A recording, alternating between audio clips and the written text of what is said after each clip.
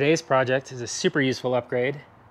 We are going to put the factory heated grips on the KTM 890.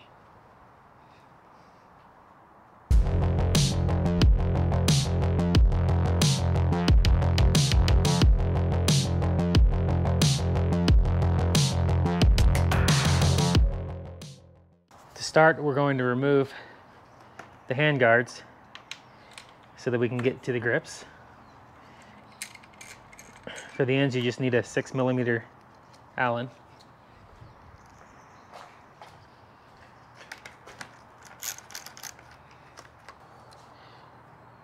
For these bolts, you need a 10 millimeter socket.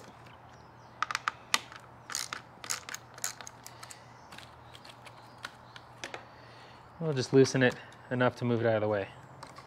All right, now I'm going to remove the seat. So we're gonna have to find the plug that these things plug into.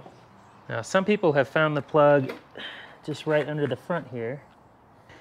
So we'll have to see where mine is.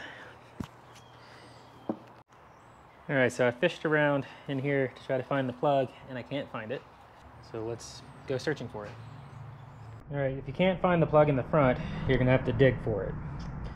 Now, instead of removing the entire gas tank, you can just remove the battery box. You remove these two bolts from either side, and this just kind of lifts up. Then you have to remove the side panel bolts on both sides, the battery box bolts on both sides. You also need to remove this battery retainer, and then you need to unplug and remove the wiring harness. Both of these. Then this whole thing will slide out and flip forward and you can get your hand up underneath the gas tank to find the missing plug. The plug that you need, once you move all this out of the way, is that white plug way down there. I don't know if you can see it.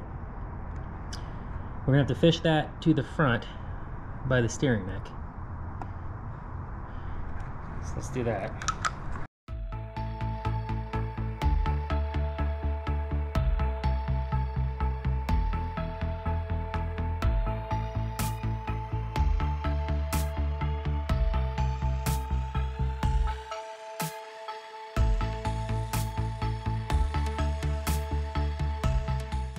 Since I can't really get it out, I decided to go ahead and unplug the end of it.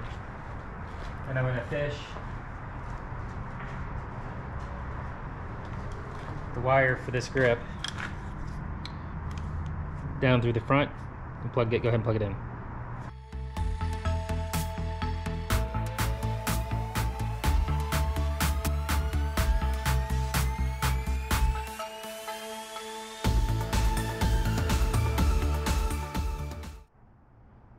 Okay, after feeling around a bit, I got it plugged in.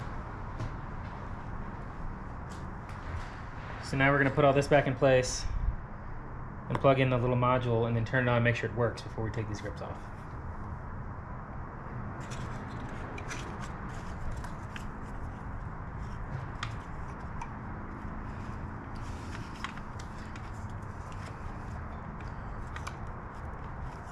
Make sure that these plugs underneath slide back into their places.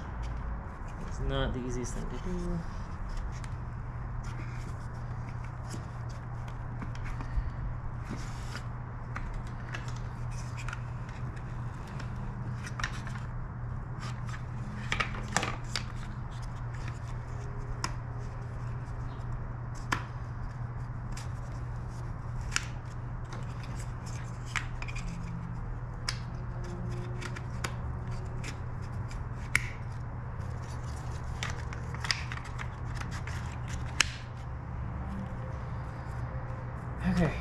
Now this is where the little module plugs in. This was slid down in this hole. So you're going to take the little dummy plug off. Then you're going to plug in this little control module. I believe this sits kind of down in this hole. Let's plug it in. see how that works. I think we might have to reroute this wire a little bit.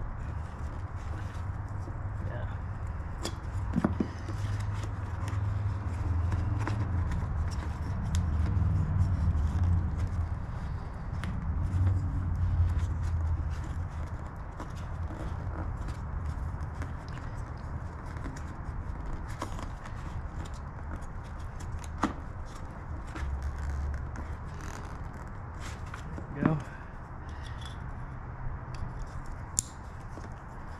Now you can just wedge this right down in this space here. Just like that. Alright, now we're going to go ahead and start up the bike.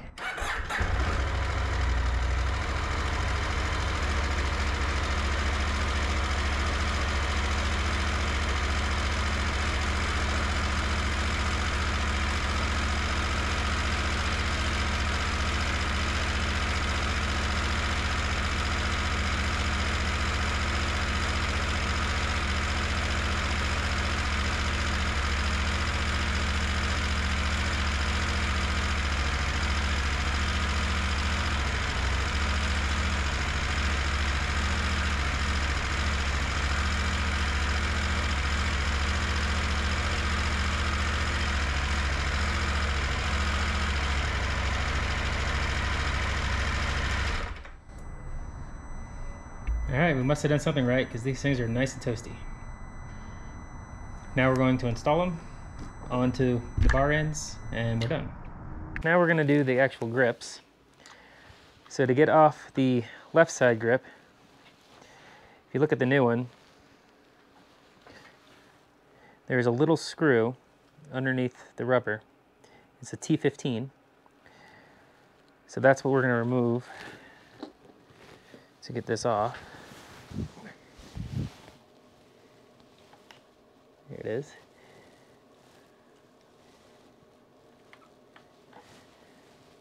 And just loosen up that screw and this grip should just slide right off.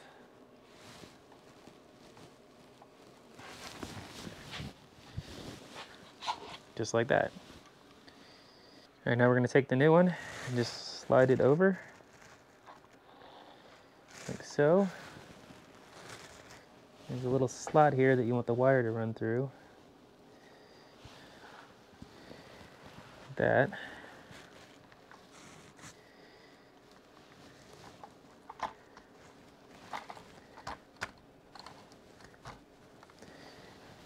There we go. You're just gonna come back underneath, tighten down that bolt. And you don't need to over tighten it because it fits on there pretty snug. Once the grip is on, you can reinstall the handguard, tighten it down with a six millimeter Allen. And then we'll go back on the other side and tighten down the pinch bolts. Now on the right side, you're gonna need a Phillips head screwdriver. Just gonna remove two Phillips head screws that pinch the throttle housing. And you can pull the top piece off. Then the throttle tube just slides right out. Okay, now we're going to take the new one. We're going to slide it right into the place of the old one. And it's, if you look at it, it is actually keyed to go into these little slots like that. All right, this part's a little tricky. So there's this little plastic piece attached to the wire and there's a small notch on the inside here. The plastic piece fits down inside that notch and kind of sticks out like that. Then you want to tuck the wire up in this groove on the backside. Now, when you slide the throttle in, it takes up that little gap. And if you see here, there's a notch on this piece as well. It seals it all together, like so. Make sure your throttle moves freely, and then you can bolt it back together. All right, just line it all up, tighten it down. Okay, to wrap this up, we need to route the wires. So we want the wires to follow the other ones. So this one we're gonna have to unplug and move it around. Luckily it is easy to get to.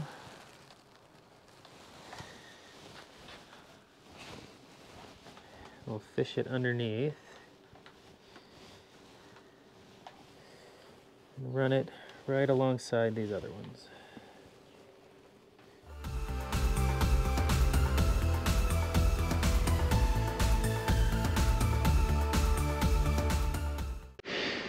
So the left side runs across and then around the stem and then plugs back in. Now this right side, we're gonna do the same deal. We're gonna run it parallel with all these wires. We're gonna need to unplug that as well, which we cannot do. So, easiest thing to do here would be to, to undo the pinch bolts for the grip up top, move it away from the bar, and then we'll feed it around. So it runs right with these other wires. Let's do that.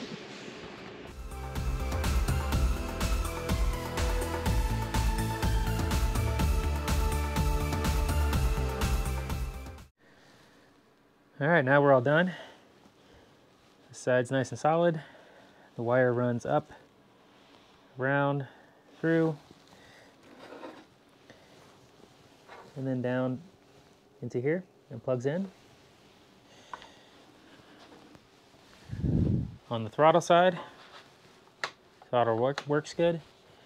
That wire runs through this housing, out, underneath, joins all these wires here. So it's held on by this, runs through this one, and then it just runs in and is plugged in as well, up underneath. I hope this video helped your installation go smoothly. If you're interested in more overlanding and KTM related content, consider subscribing and check out this next video.